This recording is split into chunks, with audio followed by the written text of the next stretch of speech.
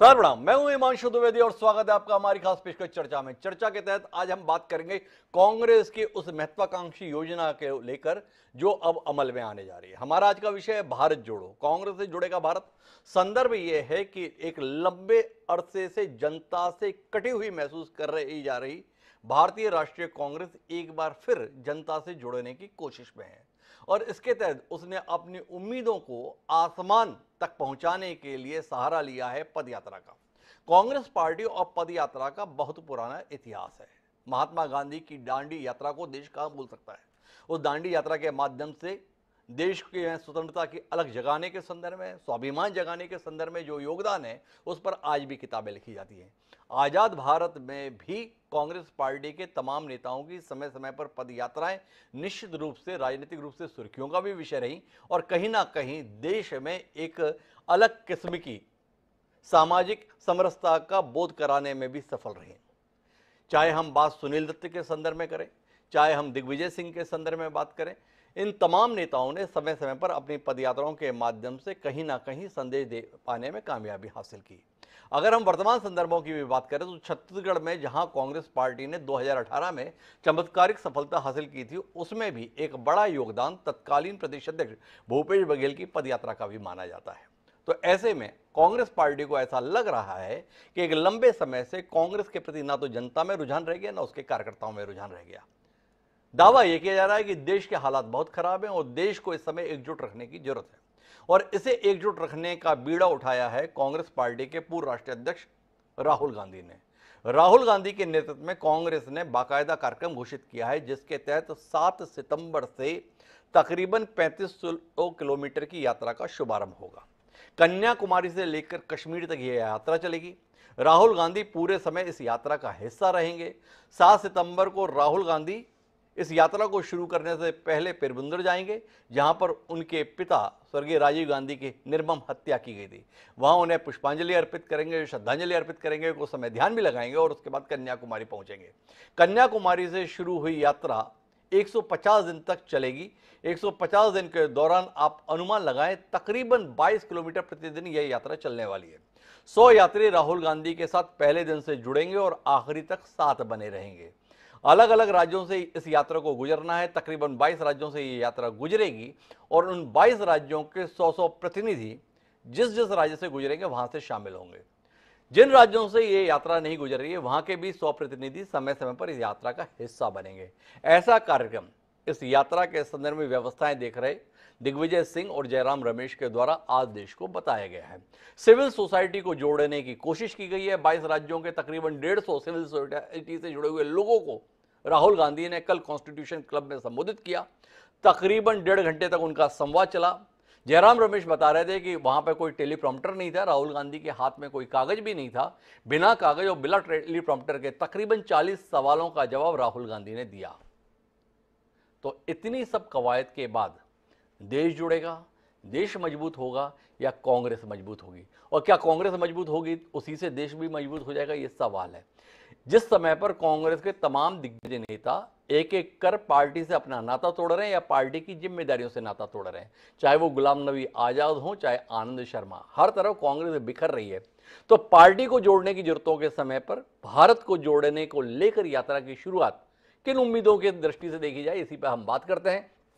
चार खास मेहमान हमारे साथ इस चर्चा का हिस्सा बनने के लिए मौजूद है, उनसे आपका परिचय कराएँ। और इस दिलचस्प मसले पर कुछ गंभीर बात करें, उससे पहले समय है आज के विचार सूत्र का। हमारा आज का विचार सूत्र यह कहता है कि आस्ते भग आसीन्योसो धर्व स्तिष्ठति तिष्ठत शेते निपद्य मानस्य चराति चरतो भगश्चैव रेति। अर्थात जो मनुष्य बैठा रहता है, उसका सौभाग्य भी रुका रहता है। जो उठ खड़ा होता है, उसका सौभाग्य भी उसी प्रकार उठता है। जो पड़ा या लेटा रहता है, उसका सौभाग्य भी सो जाता है और जो विचरण में लगता है, उसका सौभाग्य भी चलने लगता है। इसलिए तुम विचरण करते रहो। यह बात कही गई थी। क्या राहुल गांधी और कांग्रेस पार्टी को सदियों पहले दिया गया यह सूत्र समझ में आ गया है? और उसी के तहत एक बड़े वर्ग में गंभीर राजनीतिज्ञ के तौर पर देखे जाने वाले पार्ट टाइम राजनीतिज्ञ के तौर पर भी देखे जाने वाले राहुल गांधी लगातार 150 दिन तक यात्रा का हिस्सा बनने का दावा कर रहे हैं। 3500 किलोमीटर पैदल चलने का दावा कर रहे हैं। इसे जहन में रखते हैं और इसके साथ अपनी चर्चा को आगे बढ़ाते हैं, जिसका हिस्सा बनने के लिए हमारे साथ भारतीय राष्ट्रीय कांग्रेस के राष्ट्रीय सचिव विकास उपाध्याय जी खासतौर पर जुड़ गए हैं। हमारे साथ चिंतामणि मालवीय भारतीय जनता पार्टी का विचारवान चेहरा है। मध्य प्रदेश इकाई के प्रदेश उपाध्यक्ष हैं, पूर्व सांसद हैं। हमारे साथ स्वतंत्र राय देने के लिए राजनीतिक विश्लेषक निशांत वर्मा जी लंबे अंतराल के बाद मौजूद हैं और इन सब के बीच में अपनी बेबाक टिप्पणियों के लिए मशहूर वरिष्ठ पत्रकार रमेश शर्मा जी भी हमारे साथ आप सभी का स्वागत है। चर्चा की शुरुआत हम विकास उपाध्याय जी से करते हैं और विकास उपाध्याय जी से शुरू करें, उससे पहले दिग्विजय सिंह ने इस पर कुछ कहा है, उससे सुन लेते हैं। क्या कह रहे हैं दिग्विजय सिंह? इस यात्रा का जो मकसद है एक तेरा कदम, एक मेरा कदम, मिल जाए तो जुड़ जाए सारा वतन। ये हम लोगों का एक मुख्य उद्देश्य है। अब हमारी वेबसाइट भी लॉन्च हो गई है और उस वेबसाइट के माध्यम से हमारा ये प्रयास होगा कि जो भी इनके साथ जुड़ना चाहता है, वो अपने आप को इस पर रजिस्टर करे और हमारी ओर से उनको रिस्पॉन्ड किया जाएगा। साथ में जितने भी हमारे भारत जोड़ो यात्रा के इवेंट्स होंगे, उनका लाइव स्ट्रीमिंग भी उस वेबसाइट पर अवेलेबल रहेगा। तो एक तेरा कदम, एक मेरा कदम। विकास जी, आपकी तो पार्टी के लोगों के कदम साथ में नहीं पड़ रहे। आप बाहर के लोगों से आह्वान कर रहे हैं, एक तेरा कदम, एक मेरा कदम। क्या कहते हैं? मेरी आवाज़ आप तक पहुँच रही है? जी बिल्कुल विकास जी। हिमांशु जी बहुत बहुत धन्यवाद आपका। एक बड़े अहम मुद्दे पर एक बड़ी यात्रा पर आपने इस चर्चा को विषय में लिया है। मैं आपका धन्यवाद देना चाहता हूँ क्योंकि आज देश को इसकी ज़रूरत है। जिस प्रकार से मिले कदम जुड़े वतन की बात को लेकर राहुल गांधी जी पैंतीस किलोमीटर की पदयात्रा करेंगे और कन्याकुमारी से लेकर काश्मीर तक ये पदयात्रा होगी कितने राज्यों से होगी और कितने दिनों में पूरी होगी ये पूरी जानकारी आपके पास में मैं सिर्फ़ इस बात को कहना चाहता हूँ कि आज देश में देश को जोड़ने की आवश्यकता क्यों पड़ रही है? आज आखिर राहुल गांधी जी को आइए मिलकर भारत जोड़ते हैं इसकी बात करने की आवश्यकता क्यों पड़ रही है? नफरत की दीवार की को एकता की ताकत के रूप में बदलने की आवश्यकता क्यों पड़ रही है? इसके लिए तोड़ इसके लिए जोड़ने की आवश्यकता क्यों पड़ रही है? महँगाई को हराने के लिए बेरोजगारियों को बेरोजगारी को मिटाने के लिए अगर आज अगर इन तमाम चीज़ों से लड़ने के लिए अगर एक एक नेता इस देश की पदयात्रा करना चाहते हैं और इस देश में घूमना चाहते हैं और मैं समझता हूँ कि आज इसकी आवश्यकता है। जहाँ पिछले, मैं समझता हूँ 2014 के बाद से आज भारत की स्थिति कहाँ से कहाँ चले गई। आज भाई से भाई को लड़ाने का काम हो रहा है जाति से जाति को लड़ाने का काम हो रहा है, धर्म से धर्म को लड़ाने का काम हो रहा है और इस समय आज देश को जोड़ने की ज़रूरत है। और मैं समझता हूँ राहुल जी, इस बड़ी यात्रा के माध्यम से और ये गैर राजनीतिक यात्रा के साथ साथ इसमें तमाम सिविल सोसाइटी के लोगों को लेकर तमाम अलग अलग सामाजिक संगठन, धार्मिक संगठन जो सोशल वर्किंग का काम करते हैं, उन तमाम लोगों को लेकर काम किया जा रहा है। जी आपने इतनी लंबी चौड़ी बात कर दी, पर मेरे दो तीन सवाल हैं। देश को जोड़ने की ज़रूरत है या पहले अपना घर ठीक करने की ज़रूरत है? कांग्रेस खुद बिखर रही है। आपसे अपना घर नहीं संभल रहा। आपसे अपने घर के लोग नहीं सुधारे जा रहे। आप देश सुधारने की दावा कर रहे हैं। कैसे यकीन करेंगे? आप अपने कार्यकर्ताओं की नहीं सुनते और चाहते हैं कि देश आपकी सुने। आप और आप जैसे हज़ारों लोग और गुहार करते करते थक गए राहुल गांधी से। भाई, पार्टी का नेतृत्व कीजिए। अध्यक्ष पद संभालिए। कान नहीं देते। आप जैसे समर्पित कार्यकर्ताओं और नेताओं की बात पर। और वो चाहते हैं कि देश उनकी बात सुने। जो नेता अपने ही कार्यकर्ताओं की बात सुनने के लिए तैयार नहीं है। देश ऐसे नेता की बात कैसे सुनेगा, ये बात मेरी समझ नहीं आती। विकास जी, थोड़ा बताइए ना, आप ऐसे समय पे यात्रा लेकर निकल रहे हैं जब आपकी पार्टी का लंबे समय से लंबित राष्ट्रीय अध्यक्ष का चुनाव जैसे तैसे अब घोषित हुआ है। 21 अगस्त से शुरू हुआ है 20 सितंबर तक नया अध्यक्ष दिया जाना चाहिए। जिसको अध्यक्ष बनना है, वो अब यात्रा पे चल दिया है। आपको नहीं लगता है? आप कल भी उलझे हुए थे, आप आज भी उलझे हुए हैं। और आप कल भी उलझे रहेंगे। क्या कहते हैं विकास जी?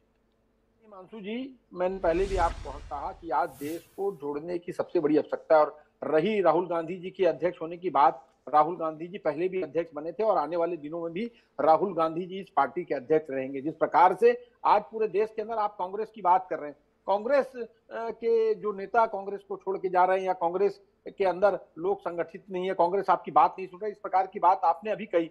मैं इस चीज़ को नहीं मानता हूँ।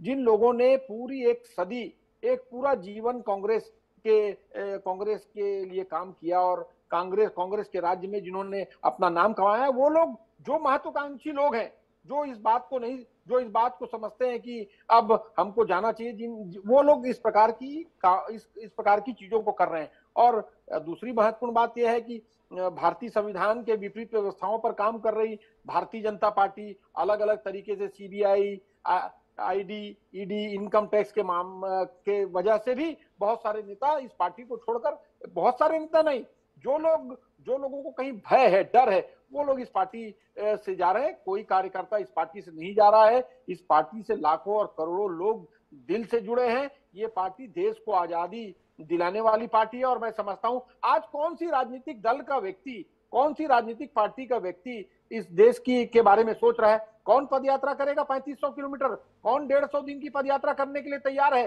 कौन पाँच महीने और बारह से भी ज़्यादा प्रदेशों में जाने का काम करेंगे? तो आप समझ लीजिए, देखिए, गांधी गांधी, राहुल गांधी जी की सोच इस देश को लेकर, जिस प्रकार से महात्मा गांधी जी की सोच थी, जवाहरलाल नेहरू जी, इंदिरा गांधी जी, राजीव गांधी जी, लाल बहादुर शास्त्री ये तमाम वो लोग हैं जिन्होंने इस देश के लिए सोचा। मैं समझता हूँ राहुल गांधी जी भी इस देश के लिए सोच रहे हैं मैं चिंतामणि के पास जाऊँ उससे पहले एक बार फिर से सवाल दोहराता हूँ। क्या राहुल गांधी ने आप जैसे सम्मान्य नेताओं या कार्यकर्ताओं की बात को स्वीकार कर लिया है? राहुल गांधी अध्यक्ष बनने के लिए तैयार हो गए सीधा उत्तर दीजिएगा विकास जी। आवाज़ नहीं सुन पाया कोई बात नहीं मैं दोबारा सवाल कर लेता हूँ। कोई संकट नहीं है मेरे पास में। क्या राहुल गांधी जी ने आप जैसे प्रामाणिक कार्यकर्ताओं नेताओं के आग्रह को स्वीकार कर लिया है? क्या राहुल गांधी ने अध्यक्ष पद का भारी भरकम दायित्व, चुनौती, ज़िम्मेदारी उठाने के लिए स्वीकृति दे दी है या पीठ दिखा गए अध्यक्ष के संदर्भ में और यात्रा करने के लिए निकल रहे हैं? हिमांशु जी, राहुल गांधी जी और गांधी परिवार कोई भी शख्स ऐसा ऐसा नहीं है जो पीठ दिखाने का काम करता है। वो तो सीधा लड़ाई लड़ने वाले लोग हैं। इस देश के हित में, इस देश की जनता के हित में कुर्बानी देने वाला परिवार है, चाहे इंदिरा गांधी जी की बात करें, चाहे राजीव गांधी जी की बात करें, जब उनकी, जब वो बलिदान, जब उनकी कुर्बानी हुई थी, तब वो प्रधानमंत्री थे। और मैं पहले भी आपको इस बात को कह चुका हूँ कि राहुल गांधी जी का ना कोई लोभ है, ना कोई लालच है। अगर प्रधानमंत्री बनने का उनकी इच्छा रहती तो 10 साल जब यूपीए की सरकार थी, किसी भी दिन वो प्रधानमंत्री बन सकते थे। लेकिन उनकी मंशा और कांग्रेस को कैसे एकजुट किया जाए, कांग्रेस को कैसे संगठित किया जाए, और कांग्रेस के एक एक कार्यकर्ता की मंशा है कि राहुल गांधी जी इस देश के कांग्रेस पार्टी के अध्यक्ष बने पहले भी उन्होंने स्वीकार किया। और मैं समझता हूँ कि अभी भी आ, वो ज़रूर कांग्रेस पार्टी के अध्यक्ष बनेंगे और एक तो विकास उपाध्याय जी केवल उम्मीद जता रहे हैं बता नहीं रहे कि उन्होंने सहमति दे दी लेकिन हम अपनी चर्चा को यात्रा पे सीमित रखते हैं और चिंतामणि मालवीय जी के पास चलते हैं। चिंतामणि जी वाकई आज चिंता में होंगे। Rahul Gandhi part time politician तो बताते थे। राहुल गांधी देश से जुड़े हुए नहीं है ये बताते थे। राहुल गांधी को देश की चिंता नहीं है, ये भी चिंतामणि जी आप बताते हैं। देश को किस कदर आपने बर्बाद कर दिया है कांग्रेस के लिहाज से, इसको लेकर राहुल गांधी अब सड़क पर उतर रहे हैं। और सड़क पर उतर के शाम को वापस घर में नहीं जा रहे हैं। डेढ़ सौ दिन तक सड़क पर ही रहने वाले हैं। पैंतीस सौ किलोमीटर चलने वाले हैं। देश में जिन जिन को लगता है कि आपकी सरकार ने संवैधानिक संस्थाओं का नुकसान किया है, उनको साथ में जोड़ने वाले हैं। चिंतामणि जी क्या वाकई? आप लोगों के जाने के दिन आ गए इसका देश को जोड़ने का और ऐसे कोई सवाल नहीं है ये वस्तुता उनके नेतृत्व में खोते हुए विश्वास को संभालने की कोशिश भर है। जिसमें वो एक अपील वो जुगाली करना चाहते हैं महात्मा गांधी के आंदोलनों की। लेकिन उन्होंने लगातार असफल कार्य किए हैं असफल आंदोलन किए हैं। आप देखिए, इसके पहले भी उन्होंने दो करोड़, किस तरह झूठे आंदोलन उन्होंने किए, राहुल गांधी जी का थोड़ा स्वरूप आपके सामने रख दूँ कि दो करोड़ किसान आंदोलनों के समय आपको याद होगा, दो करोड़ हस्ताक्षर का इन्होंने बताया था कि दो करोड़ हस्ताक्षर हमने करा दिए।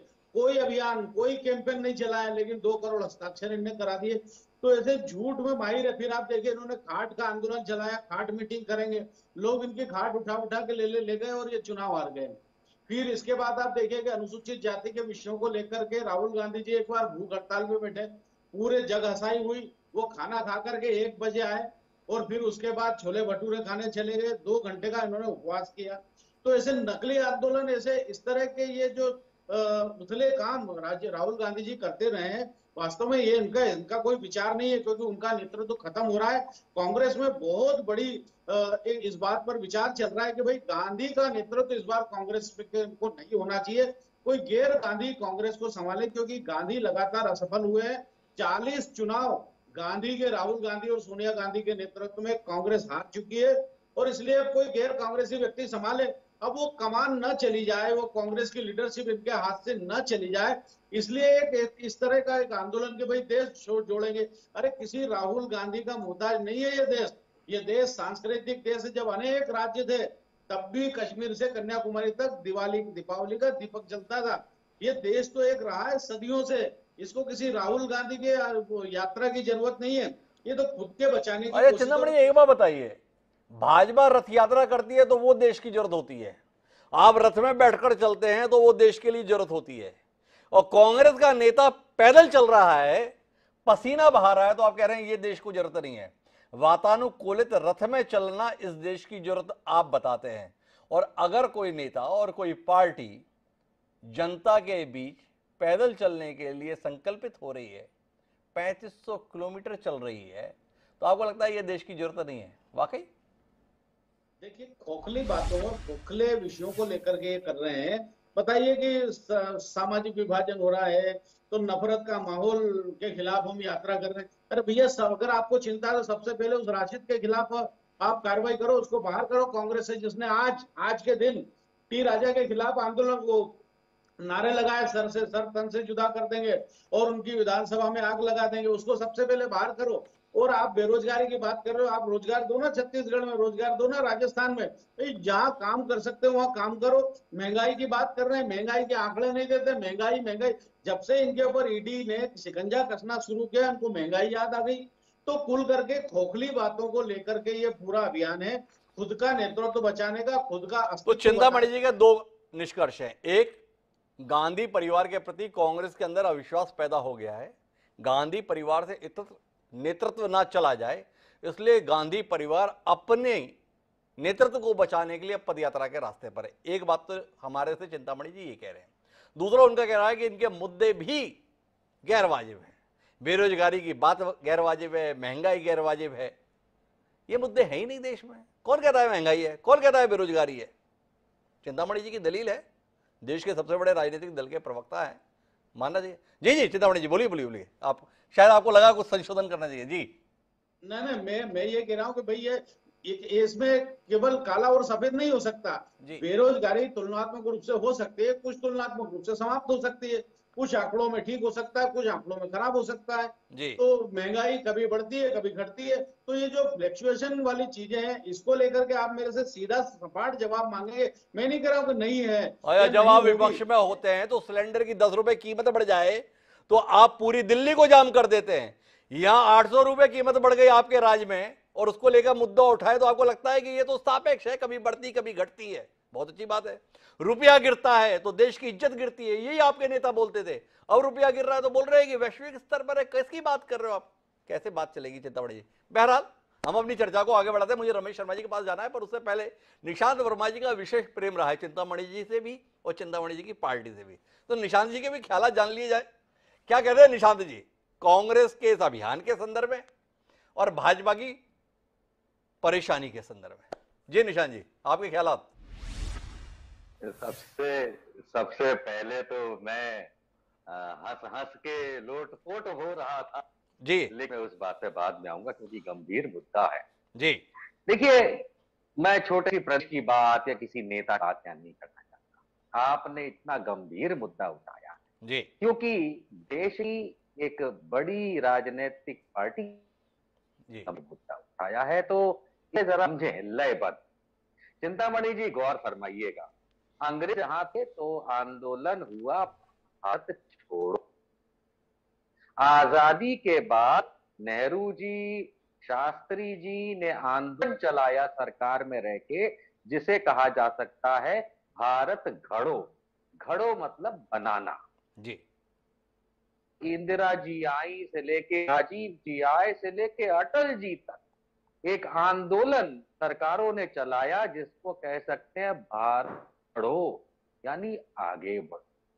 मनमोहन सिंह जी के बाद इस देश में पिछले आठ वर्षों से भारत तोड़ो चल रहा है, और मैं समझाता हूँ ये भारत तोड़ो। कभी गौर फरमाइएगा कि इन आठ वर्षों में भारत की अर्थव्यवस्था कम्युनल हार्मनी विदेश की नीति और महँगाई अगर मैं ये चार मुद्दे भी उठा करके इस समय आंकड़ों के सहित भारतीय जनता पार्टी और उन तमाम लोगों के साथ अगर बहस करूँ तो वो नहीं कर पाएँगे।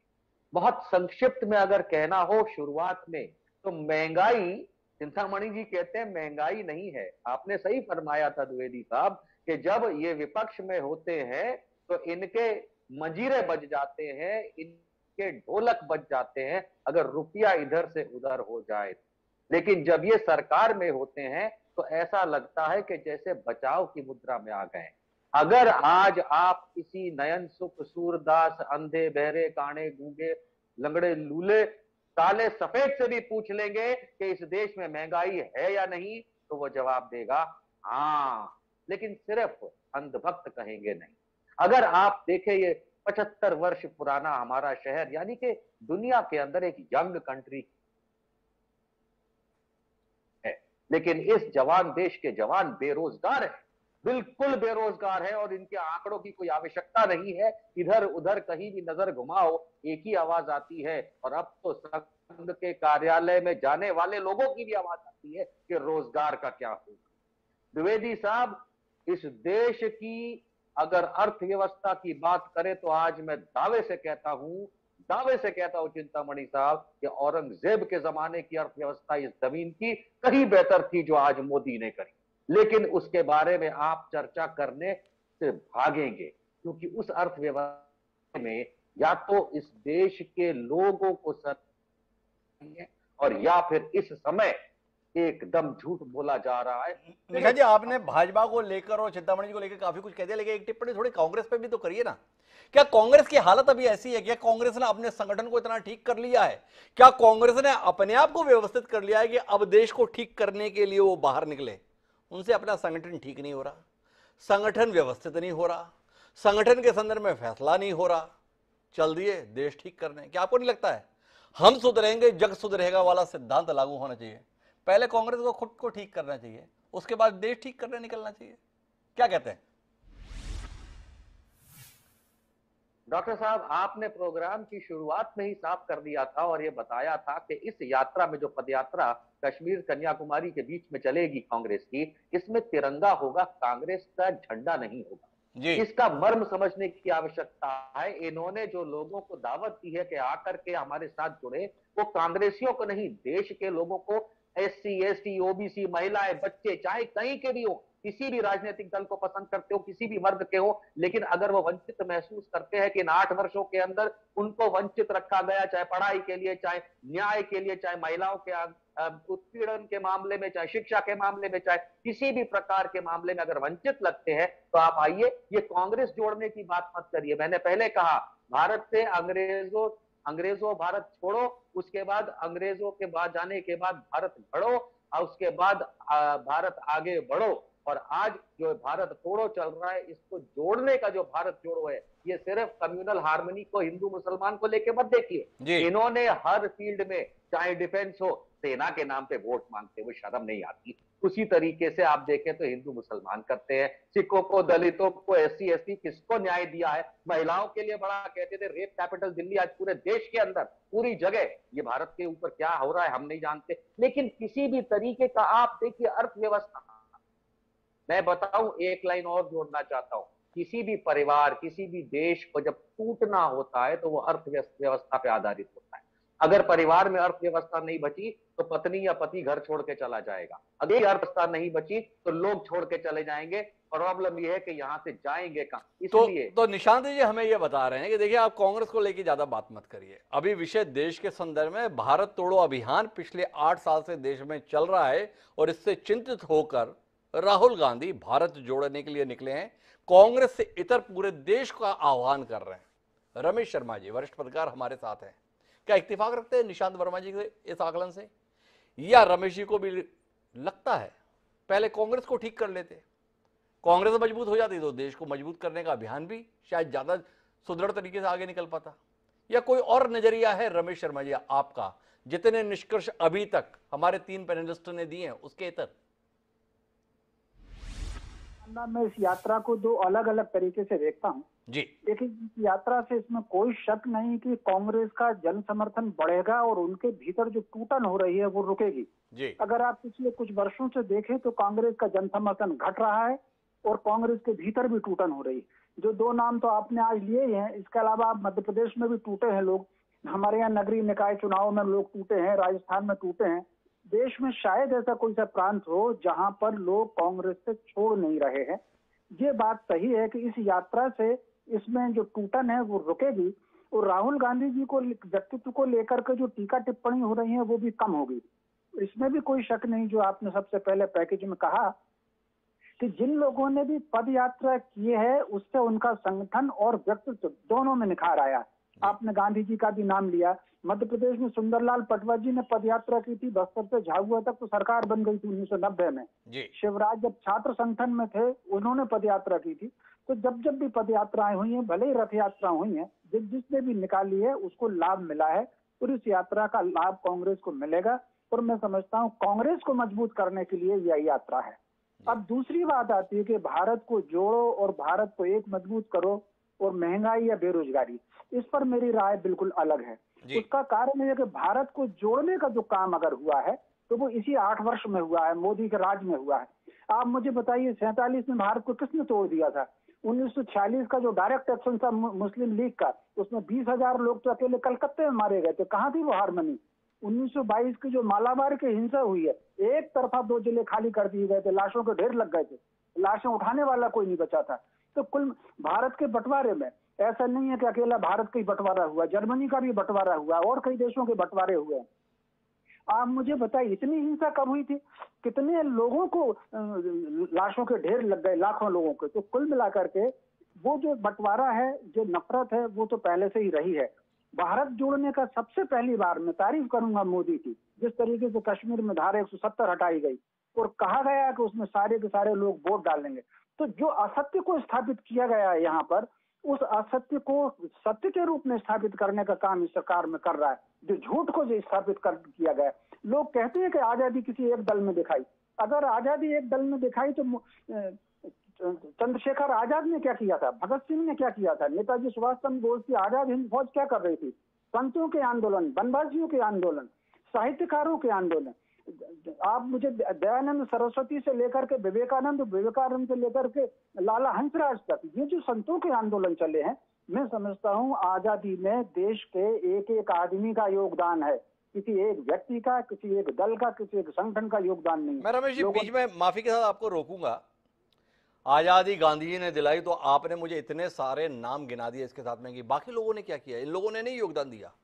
और आप इस देश को मज़बूत करने के संदर्भ में एक व्यक्ति का नाम ले रहे हैं। आज़ादी के बाद अगर इस देश को मज़बूत किसी ने किया तो वो नरेंद्र मोदी ने किया।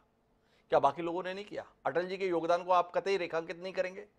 आप नहीं मानते कि इंदिरा गांधी ने इस देश को एक करने के संदर्भ में कोई योगदान दिया? क्या आप नहीं मानते कि लालकृष्ण अडवाणी की भी कोई भूमिका इस देश के संदर्भ में नहीं थी? क्या पंडित जवाहरलाल नेहरू ने इस देश को बिगाड़ने और बिखेरने का ही काम किया? क्या लाल बहादुर शास्त्री का ढाई वर्ष का कार्यकाल इस देश में कतई याद करने लायक नहीं रहा? आप केवल नरेंद्र मोदी को श्रेय दे रहे हैं आठ साल के संदर्भ में और चाहते हैं कि इसे देश स्वीकार करे। और अगर गांधी जी का योगदान, बाकी के योगदान के मुकाबले ज़्यादा महत्वपूर्ण माना जाता है। लाखों करोड़ों लोगों को प्रेरित करने वाला केवल देश में नहीं बल्कि दुनिया में माना जाता है। पूरी दुनिया में जिस नाम को मान्यता दी जाती है अगर उसे देश में अतिरिक्त सम्मान मिलता है तो उस पर हम लोगों को ऐतराज हो जाए कि गांधी को इतना ज़्यादा सम्मान क्यों दिया जाता है? जायज़ देखिए यहाँ दो अलग अलग बातें हुई। क्योंकि तीनों वक्ताओं ने आठ साल की बात की थी इसलिए मैंने केवल मोदी का नाम लिया। मेरी दृष्टि में नेहरू जी को लेकर के मेरी राय अलग है। लेकिन लाल बहादुर शास्त्री का योगदान प्रणम्य योगदान है। इंदिरा जी को केवल आपातकाल हटा करके बाकी उनके सारे निर्णय का मैं बहुत पक्षधर हूँ। केवल आपातकाल को लेकर के मैं समर्थक नहीं हूँ।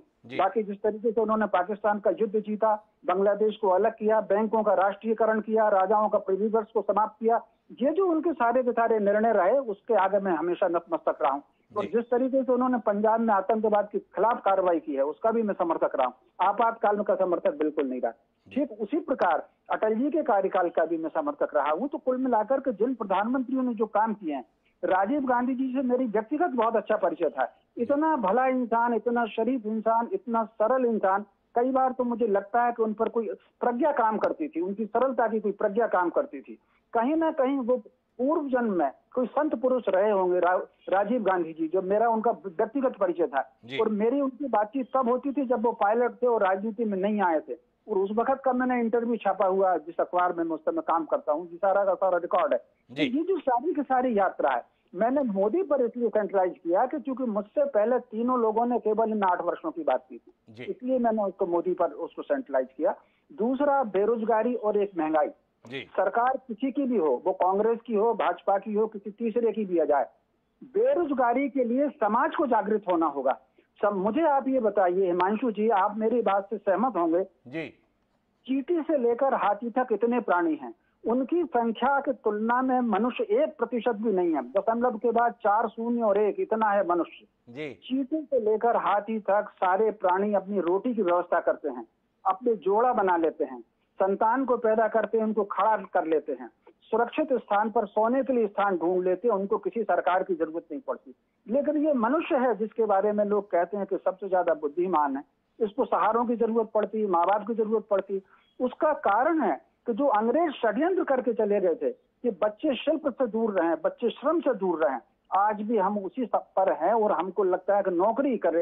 यानी माँ बाप का जो हमको भी माँ बाप के स्तर पर भी हमको चाहिए कि ये जो सवेरे से शाम तक मजीरे बजाते हैं बच्चे पर कि बच्चा बड़ा हो पढ़ लिखे और किसी अच्छी जगह नौकरी करे इसके बजाय हमको सोचना चाहिए कि बच्चा अपने पैरों पर खड़ा हो। एक उदाहरण मैं देना चाहता हूँ आपको। मैंने चीफ सेक्रेटरी को भी देखा है कि जब तक सीएम नहीं कहेगा वो कुर्सी नहीं पकड़ता कुर्सी पर नहीं बैठता। लेकिन अगर जूता जोड़ने वाला बंदा है वो आपसे कह सकता है कि मैं आपको जूते नहीं जोड़ रहा। तो नौजवान को मालिक बनाइए। स्वरोजगार बनाइए उसकी प्रतिभा उसके शिल्प इस पर समाज की जागृति होना होगी। बात तो बिल्कुल ठीक कह रहे हैं आप रमेश शर्मा जी लेकिन दिक्कत यह कि ऐसा ज्ञान राजनीतिक दल सत्ता में आने के बाद देना चाहते हैं। जब तक वो विपक्ष में रहते तब तक यही बताने की कोशिश करते हैं चाहे वो कांग्रेस हो भाजपा हो वामपंथी हो आप हो या कोई भी अन्य राजनीतिक दल हो। हमें सत्ता में आने का मौका देखिए देखिए नौकरी की अगर लाइन न लगा दे तो हमसे कहिएगा। दो करोड़ रोज़गार के संदर्भ में बात थी। उस समय पे ये नहीं कहा गया था कि अब स्वरोजगार के अवसर खोल देंगे। ऐसा विस्तार उस समय नहीं दिया जाता। विस्तार कब दिया जाता है? जब आप सत्ता में बैठ जाते हैं। इसलिए सवाल उठते हैं। मुझे आना है विकास उपाध्याय जी के पास, लेकिन निशान जी को हस्तक्षेप करना चाह रहे थे। एक बार निशान जी का हस्तक्षेप सुनते हैं और फिर विकास उपाध्याय जी से कुछ और सवाल, जिनके उत्तर प्रतीक्षा कर रहे हैं। जानते हैं। ये निशान जी, आपका हस्तक्षेप। डॉक्टर साहब मैं शुक्रिया करूँगा कि आपने हस्तक्षेप किया। रमेश जी मुझसे बड़े हैं उम्र में मैं नमस्ते करता हूँ उनको। जी। सर आप ऐसी गोल गोल बातें कृपया ना करें आप बहुत वरिष्ठ हैं। आठ वर्ष के संदर्भ में बात हो रही थी आपने कहा कि नरेंद्र मोदी के बारे में आप बड़ी डॉक्टर साहब ने आपको टोका तो फिर आपने सारे जवाहरलाल नेहरू से लेकर सब गिना दिए। आठ वर्ष के अंदर नरेंद्र मोदी की बात नहीं करेंगे तो किसकी करेंगे? आप तारीफ़ करना चाहें, बिल्कुल कर सकते हैं, लेकिन उन्होंने इस देश का जो भट्टा बिठाया है, उस होनी चाहिए। आप फिर उसके हिसाब से एकदम से चले गए कि हाँ आप जवाहरलाल नेहरू से लेके करने लगे, अटल जी और इंदिरा जी की करने लगे। लेकिन ऐसा मौका क्यों आया? क्यों डॉक्टर साहब को ये कहना पड़ा? मैं आपसे इसलिए गुजारिश कर रहा हूँ क्योंकि देश में बहुत गलत बातें पहुँचती हैं, जब हम लोग टीवी पे बैठ के गलत बोल जाते हैं। हम गलत बोल जाते हैं कि नरेंद्र मोदी ने देश को बांधा। जिस देश के अंदर आपने पहले के भले ही आतंक जितना भी आया, गिनाया, लेकिन क्या आप बता सकते हैं कि नरेंद्र मोदी की सरकार में पिछले आठ साल में सबसे ज़्यादा आतंकवादी हमले भारत पे हुए? इंकर्शन हुआ। सबसे ज़्यादा चीन का हमारे ऊपर आक्रोश आया। वहाँ तो वो फिसड्डी निकला। उसके बारे में तो हमारे को बोलना नहीं है। देश को मिलाया। देश को तोड़ तोड़ करके हिंदू मुसलमान के हिसाब से पंजाब को अलग कर दिया, बंगाल को अलग, सब जगह वो जाकर के जो रैलियों में भाषा बोलते हैं, उससे क्या ये नहीं मालूम चलता कि वो देश तोड़ रहे हैं? और उस व्यक्ति की तारीफ़ करना कोई मजबूरी हो सकती है गालिब, लेकिन मेरी नहीं। तो निशाद जी की तो अपनी राय बहुत स्पष्ट ही रहती है, इसमें वो ज़्यादा छुपते छुपाते भी नहीं है। लेकिन निशांत जी जो भी कहें, पर देश का मानस भी तो सामने अपना जनादेश के रूप में भाव व्यक्त करता है। नरेंद्र मोदी वह करिश्माई शख्स है जो इस देश में लगातार दो बार, तीन दशक के बाद स्पष्ट बहुमत की सरकार एक दल की ला के दे रहे हैं। देश का एक बड़ा वर्ग है जो नरेंद्र मोदी में इस देश के वर्तमान और भविष्य दोनों को देखता है। इससे इंकार नहीं कर सकता। पर राहुल गांधी भी निशांत वर्मा जैसे ही सोच रखते हैं। उनका मानना है, नरेंद्र मोदी का होना देश के लिए ठीक नहीं है। पर एक बड़ा वर्ग कांग्रेस में मौजूद है, जिसको लगता है राहुल गांधी का रहना कांग्रेस के लिए ठीक नहीं है। कांग्रेस का तब तक भला नहीं हो सकता जब तक राहुल गांधी रहेंगे। चिंतामणि जी हस्तक्षेप कर जाते हैं, पर चिंतामणि जी, अब समय है, मैं विकास जी से थोड़ा सा बात कर लूँ। और विकास जी, आपसे ही जानना चाहता हूँ। आप बार बार इस विषय को टाल दे रहे हैं। कांग्रेस का कांग्रेस में भरोसा नहीं बन रहा। कांग्रेस नेतृत्व का अपनी पार्टी के कार्यकर्ताओं और नेताओं पर भरोसा नहीं बन रहा। राहुल गांधी की शिकायत रही। मैं अकेला लड़ रहा था नरेंद्र मोदी से। पार्टी के अन्य नेताओं ने साथ नहीं दिया। आपसे जानना चाहता हूँ, वो अविश्वास क्या अभी भी बना हुआ है। इसीलिए राहुल गांधी को हिचक है। इसीलिए राहुल गांधी जो है पीछे हट रहे हैं। पहले ये यात्रा दो अक्टूबर को शुरू होने वाली थी। गांधी जयंती के दिन, सात सितंबर कर दी। राष्ट्रीय अध्यक्ष के निर्वाचन के दौरान कर दी। क्या है ऐसा कांग्रेसियों के प्रति राहुल गांधी के मन में भय, जो उन्हें असमंजस में डाले रखता है? बताइए ना हमें। अभी चिंतामणि जी की बात भी मैंने सुना और यही राहुल गांधी जी है जिन्होंने यूपीए की दूसरी सरकार बनी, तब राहुल गांधी जी का नेतृत्व था। मध्य प्रदेश, पंजाब, कर्नाटक, छत्तीसगढ़, ये तमाम वो प्रदेश है जहाँ पर सरकार राहुल गांधी जी के नेतृत्व में बनी। और मैं समझता हूँ कि कोई नेता आज देश के लिए सोच रहा है तो ये भारतीय जनता इस देश को जोड़ने के लिए सोच रहा है। इस देश में जो पिछले आठ सालों में मैंने दोनों तीनों तीनों वक्ताओं की बात को सुना। चिंतामणि जी तो भारतीय जनता पार्टी है उनका पार्टी के है उनका उनकी विचारधारा अलग है। लेकिन तो और वक्ता आपके साथ बैठे बहुत गंभीर सीनियर लोग हैं। मैं बहुत गंभीरता से उनकी बातों को सुन रहा था। लेकिन मैं हिमांशु जी आपको एक बात को कहना चाहता हूँ। पिछले आठ सालों में आज देश की स्थिति कहाँ है?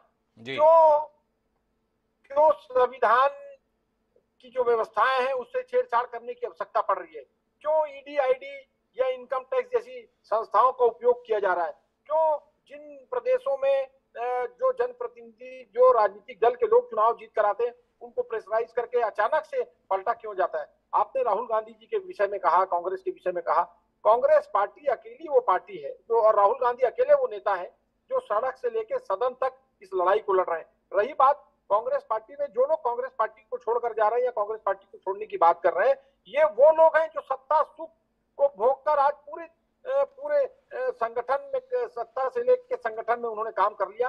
अब उनको समझ में आ गया कि अब अब उनका कोई काम होने वाला नहीं अब उनकी ज़रूरत, उनको लग रहा है कि अब उनकी ज़रूरत नहीं है। उनको समझ में आ रहा है कि अब उनकी कोई उपयोगिता, वो अपनी उपयोगिता समझ नहीं पा रहे इसलिए वो कांग्रेस पार्टी को छोड़कर भी जा रहे हैं। और रही बात राहुल गांधी जी की राहुल गांधी जी इकलौते नेता हैं इस देश के अंदर जो कांग्रेस पार्टी का नेतृत्व करेंगे और कांग्रेस पार्टी उनके नेतृत्व में एकजुट होकर पूरे देश में इस देश की, इस देश की लड़ाई को लड़ेगी। मेरे दो सवाल हैं आपसे। आपने कहा सड़क से लेकर सदन तक लड़ने वाले एक ही नेता है। थोड़ा कम आकलन कर गए आप अपने नेता का, आपको ये कहना चाहिए, देश से लेकर विदेश तक लड़ाई लड़ने वाले इकलौते नेता है। भाजपा का तो कटाक्ष ये रहता है। राहुल गांधी आधे समय, देश में आधे समय, विदेश में।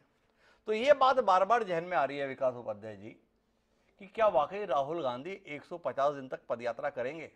ऐसा तो नहीं, बीच में ही किसी भी कारण के कारण से चल दें। एक सवाल तो ये है। और दूसरा, मेरा आपसे जानने में बड़ी दिलचस्पी है। आपका केंद्र सरकार पर इतना भरोसा कैसे हो गया कि वह राहुल गांधी को डेढ़ दिन तक खुला छोड़ देगी?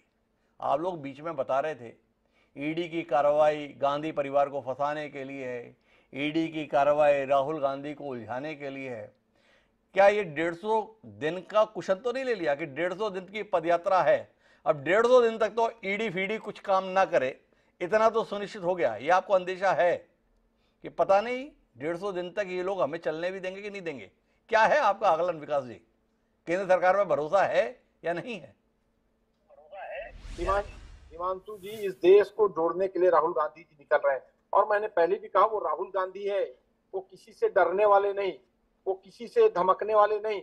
और इसीलिए आज जिस प्रकार से सदन से लेके सड़क तक बेबाकी से चाहे नोटबंदी की बात करें, चाहे जीएसटी की बात करें, जब कोरोना की अव्यवस्था हुई थी उसकी बात करें, अगर किसी ने आवाज़ उठाई है तो सिर्फ़ और सिर्फ़ एक ही राजनीतिक दल के नेता ने आवाज़ उठाई, वो है राहुल गांधी जी। और जो जो बात उन्होंने कही, वो वो वो बात आने वाले दिनों में सच साबित हुई। आज भारतीय जनता पार्टी की सबसे बड़ी चिंता ये है कि अगर इस देश में कोई नेता है, कोई राजनीतिक दल है, जो आज उनके सामने खड़े होकर लड़ सकता है तो वो भारतीय कांग्रेस पार्टी है। इसीलिए भारतीय जनता पार्टी के पेट में दर्द है।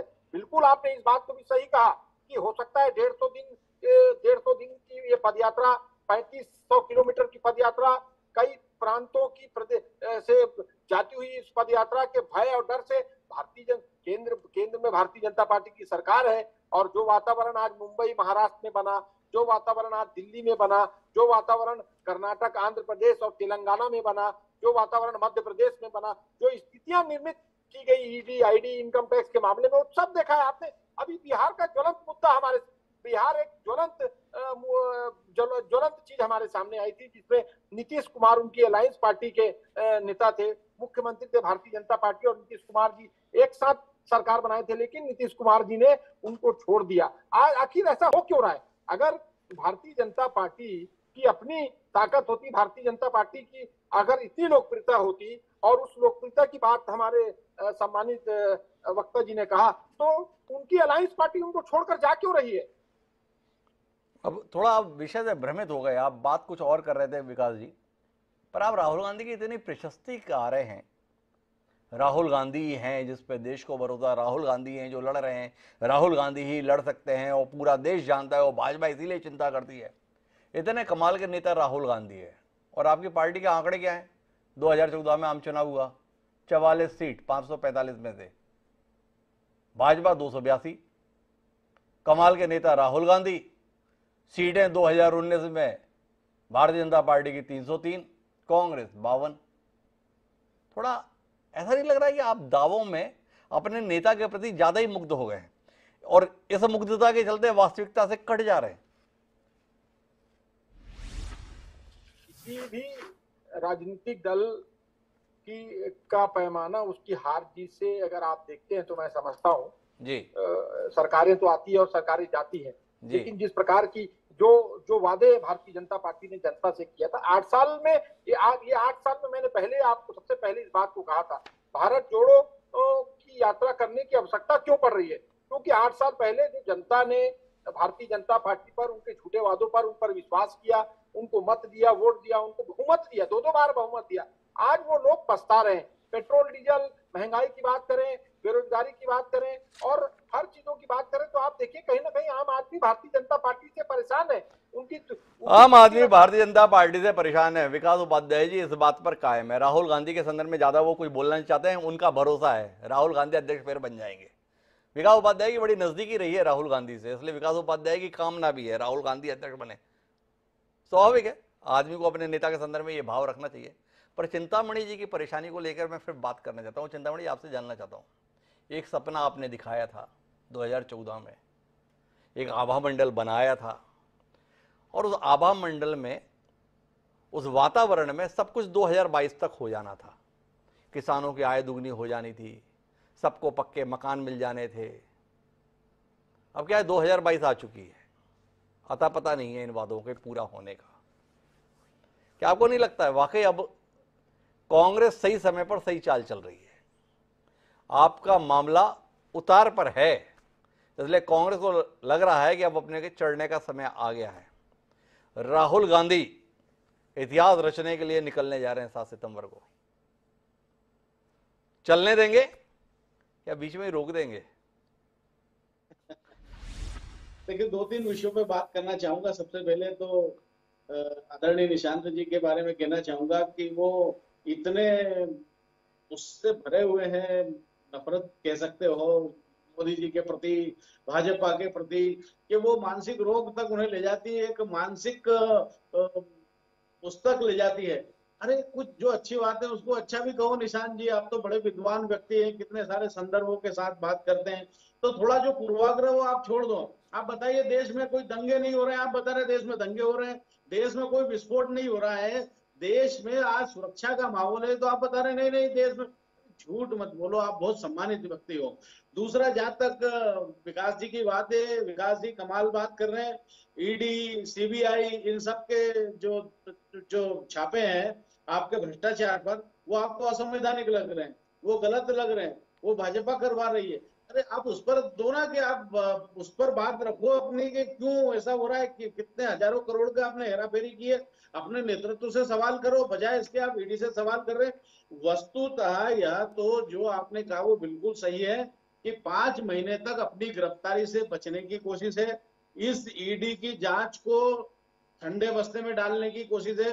क्योंकि जो, जैसे आज आप बताइए कि आप पार्टी कर रही है, वो गुजरात जा रही है कि अगर वो बताया था कि हम गुजरात गए थे, इसलिए हमको गिरफ़्तार किया, क्योंकि उनकी गिरफ्तारी होना तय क्योंकि तथ्य है, वैसे ही खुद सुब्रमण्यम स्वामी ने कहा कि कम से कम 12 साल की सजा राहुल गांधी और सोनिया गांधी जी को होगी और कोई इन्हें बचा नहीं पाएगा, क्योंकि तथ्य तो अब इससे भागने की कोशिश है दूसरा ये कि वो अध्यक्ष भी बन जाए मतलब कुल करके खुद को बचाने के लिए देश छोड़ने का नाम ले रहे हैं। मैं फिर से कहता हूँ कि ये जो बा, बापू के और महात्मा गांधी जी के आंदोलनों की जुगाली कर रहे हैं नकल कर रहे हैं इस तरह करने से हमारा और सहयोग किन का ले रहे हैं? सिविल सोसाइटी का कम्युनिस्ट पार्टियों का कम्युनिस्ट विचारकों का।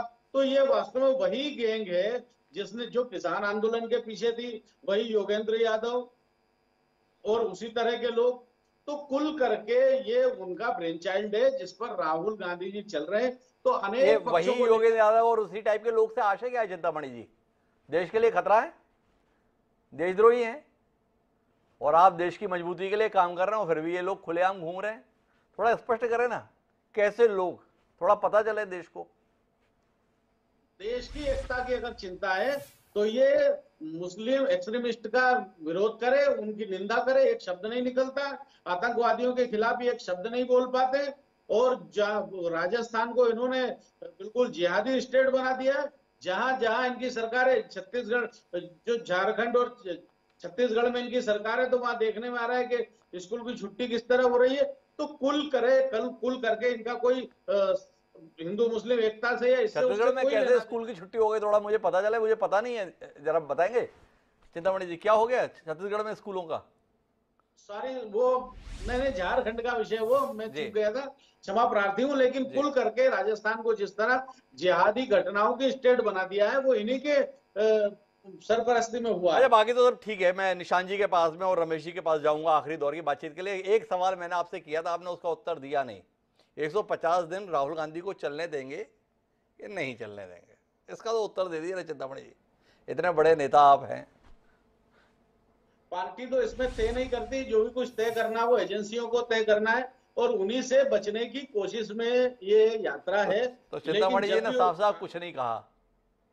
विकास जी के लिए विचार का विषय होना चाहिए पर निशांत जी मैं वापस आपके पास लौटना चाहता हूँ। देश इस यात्रा से जुड़ेगा नहीं जुड़ेगा पता नहीं। पर आपसे जानना चाहता हूँ, रमेश जी का आकलन था। कांग्रेस को और राहुल गांधी को कुछ ना कुछ लाभ तो होगा। आपका आकलन, बतौर राजनीतिक विश्लेषक, क्या कांग्रेस, जो जनता का विश्वास टूटा हुआ है, कहीं खोया हुआ है, कहीं गुम हो गया है, क्या इस यात्रा के माध्यम से कांग्रेस उस विश्वास को वापस हासिल कर पाएगी? क्या आप यकीन के साथ है कि राहुल गांधी अचानक इस यात्रा को बीच में छोड़कर किसी और काम के लिए निकल तो नहीं जाएँगे? क्योंकि राहुल गांधी के संदर्भ में पिछले दो दशक में भारतीय जनता पार्टी ये स्थापित करने में कहीं ना कहीं सफल रही है, कि वह एक अगंभीर राजनीतिज्ञ है। वह गंभीरता के साथ विषयों को नहीं लेते। आपका आकलन? देखिए, डॉक्टर साहब सबसे पहले तो यही तो शुरू करूँगा कि आपने जो सवाल किया कि कांग्रेस बिखरी हुई है लोगों का ऐसा उस पर विश्वास नहीं है। ये शब्दावली आई कुछ वर्षों में इस तरीके से है क्योंकि भाजपा ने पंप किया है बोल बोल के इन बातों को। हकीकत यह है कि भारतीय जनता पार्टी ओवरऑल कांग्रेस से बहुत डरती है। और इसीलिए कांग्रेस मुक्त भारत होने के बजाय आज ये कहा जाता है कि सीटें कम हो गई फला राज्यों में सरकारें कम हो गई। लेकिन बहुत बड़ा डर अभी चिंतामणि जी के वक्तव्य में दिख रहा था कांग्रेस के प्रति कि भाई देखो वो खाली छत्तीसगढ़ और राजस्थान की बात कर रहे थे। दंगों की मैंने बात करी तो वो मुझसे कह रहे झूठ मत बोलो। तो मुझे ये भी बता दें वो कि जब नमस्ते ट्रंप अहमदाबाद में हो रहा था तो दिल्ली दंगे चीन करवा रहा था। शाहीन बाग में राइट विंग के लोग जाके गोलियाँ चला रहे थे। क्या उनको अमेरिका ने भेजा था?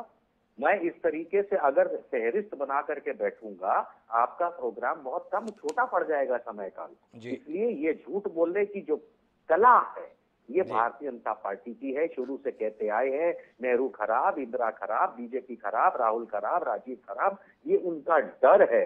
और देखिए तो नरेंद्र मोदी पूरी तरह से इंदिरा गांधी की कॉपी करने की कोशिश करते हैं। दूसरी तरफ़ अगर आप देखेंगे तो आपने सवाल किया कि इससे राहुल को क्या फ़ायदा होगा कांग्रेस को क्या फ़ायदा होगा? स्वाभाविक सी बात है कि जब देश बिखर रहा है कांग्रेस नहीं कांग्रेस के कुछ नेता छोड़ के जा रहे हैं उनकी डेमोक्रेसी है इनके यहाँ तो डंडा मार के भाजपा में बिठा दिया जाता है। लोग कहते हैं कि कांग्रेस में अध्यक्ष पद को लेकर के चिंतामणि जी भी कहते होंगे कि चुनाव का क्या नाटक चलता है तो चिंतामणि जी भाजपा में तो कभी चुनाव ही नहीं होते ऐसी डंडा मार के बिठा दिया जाता है कि हाँ मैं हूँ और तुम हो। ये हकीकत है ये मैं आम इंसानों की भाषा में बोल रहा हूँ ताकि उन्हें समझ में आए। तो अगर कांग्रेस में से नेता छोड़ के जाते तो वो बिखर नहीं रही। क्योंकि पिछले आठ वर्षों में वो जो मार्गदर्शक मंडल था, उसकी तो एक बैठक तक नहीं कराई, ये लोग तो साइड लाइन कर देते हैं। और देश को इस समय आवश्यकता भले ही राहुल गांधी की हो या ना हो कांग्रेस की हो या ना हो लेकिन कांग्रेस को नहीं लेकिन देश को एक साथ आने की आवश्यकता है। ये छोटे छोटे जो इन्होंने चला रखे आम आदमी पार्टी और ममता बनर्जी टाइप के जो वोट काट करके भाजपा को वो 25 प्रतिशत दिला देते हैं ताकि वो जीत जाए ये नौटंकी बंद होनी पड़ेगी। लोगों को एकजुट आना पड़ेगा। और अगर अब भी किसी को ये आठ वर्षों के बाद मान के चलिए ऐसा लगता है किसी को भी कि देश के अंदर बहुत खुशहाली आ चुकी है हम विश्व गुरु बन चुके हैं और देश के अंदर बहुत बढ़िया काम हो रहा है सुरक्षा हो रही भलाना हो रहा है तो भाई उनको आँखें अपने चक्षु खोलने की आवश्यकता है। लेकिन अगर वो नहीं खोलेंगे तो भी बचा हुआ पचहत्तर प्रतिशत सेवेंटी फाइव परसेंट जो वोटर है वो इस पच्चीस प्रतिशत को बुरी तरह हराएगा। यही तो कुल मिलाकर निशांत वर्मा जी तो इस आशा के साथ में है इस उम्मीद के साथ में विश्वास के साथ में है कि ये यात्रा कमाल करने जा रही है। और आठ साल से जो प्रचंड बहुमत की सरकार चल रही है उसके घर बैठाने की अब तैयारी हो चुकी है। मैं आखिरी बातचीत के लिए रमेश शर्मा जी आपके पास आना चाहता हूँ। और आपसे समझना ये चाहता हूँ कि क्या इस यात्रा के माध्यम से, जैसा आपने पहले कहा, मैंने भी अपने आकलन में कहा कि पदयात्रा से लोगों को लाभ हुआ है, क्या राहुल गांधी भाजपा की तमाम कोशिशों के बाद भी इस पदयात्रा को अगर सफलतापूर्वक कर लेते हैं तो बाकी कुछ हासिल कर पाए, ना कर पाए एक परिपक्व राजनीतिज्ञ की छवि हासिल कर लेंगे। ये सवाल बड़ा महत्वपूर्ण है और आपसे इसके संदर्भ में एक पूर्ण समीक्षा की अपेक्षा है। इस पद यात्रा से इसमें कोई शक नहीं कि जन सामान्य में और कांग्रेस के भीतर राहुल गांधी जी की स्वीकारिता बढ़ेगी। जी। और वो ये स्वीकारिता किस स्तर की होगी कितने प्रतिशत होगी ये यात्रा वोट को कितने प्रतिशत प्रभावित करेगा ये आने वाला समय बताएगा। लेकिन उनकी स्वीकारिता कांग्रेस के भीतर भी बढ़ेगी और कांग्रेस के बाहर भी बढ़ेगी। जो एक प्रकार से पूरे देश में भी समाज में भी और कांग्रेस के भीतर भी कहीं ना कहीं राहुल जी को लेकर के एक अविश्वास का वातावरण तो बन रहा है। और अगर आप देखेंगे तो कांग्रेस के भीतर भी जो जितने प्रतिशत विश्वास राहुल जी के प्रति है उससे अधिक प्रतिशत विश्वास प्रियंका जी के प्रति है। जी। लेकिन इस यात्रा से राहुल गांधी जी का विश्वास बढ़ेगा। लेकिन अब भाजपा को कितना लाभ पहुंचेगा, कितना नुकसान पहुंचेगा, ये आगे नहीं कहा जा सकता। अगले एक वर्ष में ये जो सरकार है, नरेंद्र मोदी जी की सरकार है, क्या कदम उठाती है, इस पर निर्भर करेगा कि इस यात्रा का उनके वोट पर कितना प्रतिशत होगा। मोटे तौर पर एक और बात है, कहीं ना कहीं यदि समाज में भारतीय जनता पार्टी ये संदेश देने में रही कि देश को बांटने में और समाज को बांटने में योजना पूर्वक काम अगर हुआ है अंग्रेज़ों ने जो किया है तो आज़ादी के बाद उस पर रोक नहीं लगी। ये बात कहने में अगर ये कामयाब रहे तो इस यात्रा का लाभ उनको मतलब इस यात्रा का भाजपा को नुकसान कम होगा। एक छोटा सा उदाहरण आपको देना चाहता हूँ। आपके लिए भी हिमांशु जी मैं एक प्रश्न छोड़ रहा हूँ कि जब भी कभी चुनाव आते हैं हर मीडिया चैनल हर राजनीतिक दल ये आकलन करता है कि यहाँ इतने वोट ब्राह्मणों के, इतने वोट ओबीसी के, इतने वोट वनवासियों के, इतने वोट इनके। क्या कभी ये आकलन किसी मीडिया वाले ने किया, किसी राजनेता ने कहा कि यहाँ इतने परसेंट वोट सियाओं के, इतने परसेंट वोट सुन्नियों के, इतने परसेंट भिष्टियों के, इतने परसेंट पठानों के, इतने परसेंट सिद्दीकियों के, या इतने परसेंट रोमन के और इतने परसेंट कैथोलिक के? ये जो अंग्रेज़ छोड़ करके चले गए थे, ये जो संदेश अगर एकता का संदेश अगर भाजपा देने में कामयाब रही, क्योंकि इसमें कोई शक नहीं। उसमें मेरे ये जो तीनों हमारे साथी हैं, वो चाहे जो कुछ सहमत हो। लेकिन मैं चूँकि गाँव से आता हूँ, कहीं ना कहीं अयोध्या का संदेश जो देश में गया हुआ है कि एक हज़ार वर्ष से मंदिर टूट रहे थे, पहली बार शिलान्यास हुआ और प्रधानमंत्री गया। ये जो सकारात्मकता है, ये सकारात्मकता अगर समाज को जोड़ने में, सांस्कृतिक जोड़ने में गई तो इस यात्रा का भाजपा को कोई नुकसान नहीं होगा। लेकिन अगर इन्होंने इसमें काम नहीं किया तो निश्चित रूप से कांग्रेस को इसकी यात्रा का लाभ मिलेगा और राजीव गांधी, राहुल गांधी एक स्थापित नेता के रूप में, स्वीकार नेता के रूप में हो जाएँगे। अब ये भी तो एक बड़ी विडंबना है कि एक हज़ार साल बाद पहला मौका हुआ जब किसी मंदिर का शिलान्यास हुआ। आज़ादी के तुरंत बाद सोमनाथ का शिलान्यास और सोमनाथ का पुनरुद्धार कांग्रेस के रहते हुए हुआ था। ये याद करा पाने में कांग्रेस सफल नहीं रहती या कांग्रेस याद नहीं कराना चाहती। भारतीय जनता पार्टी अपनी उपलब्धियों के संदर्भ में संदेश ठीक प्रकार से दे पाने में कामयाब रहती है। भाजपा ने अपने विचार के संदर्भ में स्पष्टता रखी हुई है।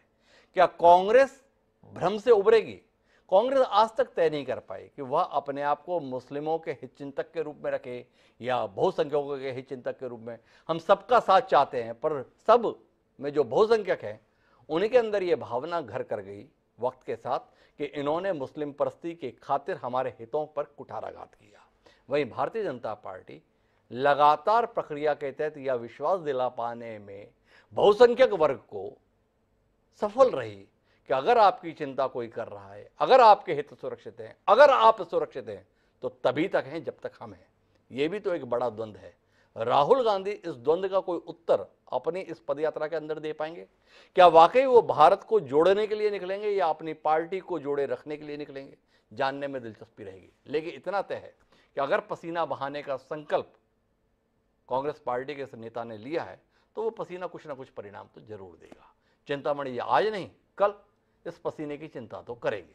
अगर पसीना बहा तो बहरहाल, आप चारों मेहमानों का बहुत बहुत धन्यवाद। हमारे साथ इस चर्चा का हिस्सा बनने के लिए समय है। अब आज के शेर का, उम्मीद को केंद्रित हमारा आज का शेर कहता है कि वही चिराग हवाओं का जोड़ तोड़ेंगे की, कि वही चिराग हवाओं का जोड़ तोड़ेंगे की, बाजी हार के भी जिनके हौसले न गए। जमील नज़र ने यह शेर कमाल का लिखा था। क्या राहुल गांधी इस शेर पर भरोसा करेंगे? दो हार उनके हिस्से में है। इसके बावजूद भी, अगर उनका हौसला बरकरार रहा, हिम्मत बनी रही और साथ साथ जो संकल्प वो ज़ाहिर कर रहे हैं उस पर अमल कर पाए तो तय है कि वह कम से कम एक चुनौती बनकर तो ज़रूर उभरेंगे। देखते हैं राहुल गांधी अपनी पदयात्रा को किस तरीके से अंजाम देते हैं। आज के इस कार्यक्रम में इतना ही। कल फिर मिलते हैं विषय के साथ। मुझे दिए याद सादा प्राप्त